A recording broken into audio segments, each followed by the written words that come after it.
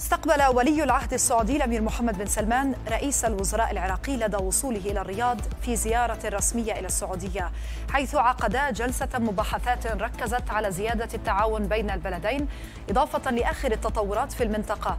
وتم عقد اجتماعات على مستوى المجلس التنسيقي بين البلدين وتوقيع خمس اتفاقيات في مجالات مالية وتجارية واقتصادية وثقافية وإعلامية. كما ضم الوفد العراقي محافظين لمحافظات حدودية مع السعودية لبحث زيادة المنافذ الحدودية بين البلدين.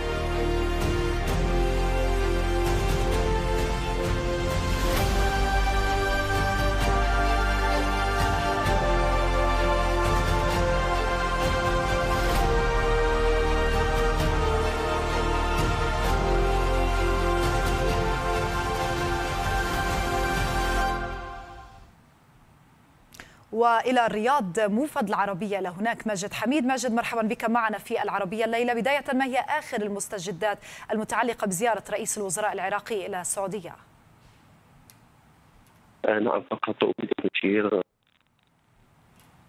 ماجد هل تسمعني؟ طيب يبدو أن هناك خلل في الصوت في المصدر. فقدنا الاتصال بماجد. سنحاول أن نعود إليه في سياق العربية الليلة. إلى هذا الخبر احتفاء بدأ منذ دخول رئيس الوزراء للأجواء السعودية حيث رافق طائراته مقاتلات سعودية ورسم علم العراق بالألوان في الرياض وفي سماء الرياض حين حطت الطائرة. أجريت مباحثات رسمية بين الأمير محمد بن سلمان والكاظمي وصحبه الأمير في جولة بالدرعية التاريخية.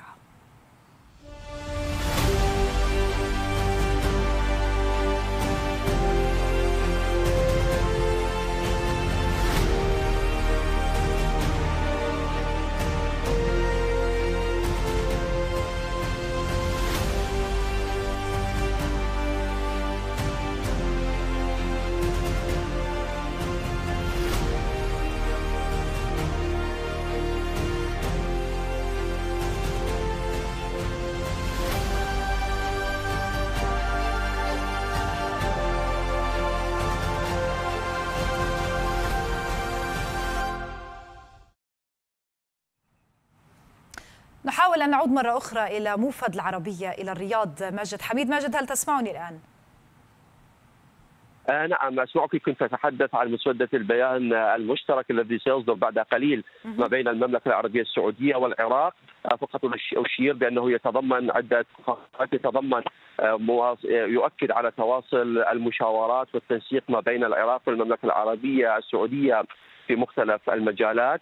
يؤكد على دعم العراق في جهوده في ضمن التحالف الدولي لمحاربة الإرهاب التأكيد على حسن الجوار ورفض التدخلات الخارجية في المنطقة استمرار المشاورات والتنسيق بين الدول العربية بشكل كامل لرفض أي تدخلات خارجية من أمن واستقرار المنطقة العربية. التأكيد أيضا على تنفيذ ما تم الاتفاق عليه في إطار المجلس التنسيقي العراقي السعودي من خلال اتفاقيات ومذكرات التفاهم التي تم التصويت عليها. هذه أبرز الفقرات في المسودة الأولى للبيان المشترك الذي سيصدر بعد قليل من الآن ما بين العراق والمملكة العربية السعودية. رئيس الوزراء؟ ما زال مستمر. في اجتماعاته مع الشركات السعودية للتأكيد على دورها في الاستثمار وكذلك دعم القطاع الخاص العراقي خاصة افتتاح منفذ عرعر والتأكيد من قبل الحكومة العراقية على فتح منفذ آخر هو منفذ جميمه أيضا ما بين المملكة العربية السعودية والعراق من خلال محافظة المثنى. ماجد نحن نشكرك على كل هذه المستجدات. أنت بالطبع معنا على نشرات العربية متابع منذ الصباح لهذه الزيارة وبالتأكيد ستكون معنا في نشرات لاحقة. شكرا جزيلا لك موفد العربية إلى الرياض ماجد حميد. اصطحب ولي العهد السعودي الأمير محمد بن سلمان رئيس وزراء العراق مصطفى الكاظمي في جولة بالدرعية التاريخية والتي تشهد مشروعا لترميمه عبر مشاريع ثقافية وعلمية ورياضية. وكان الأمير محمد بن سلمان استقبل الكاظمي الذي بدأ زيارة رسمية إلى السعودية.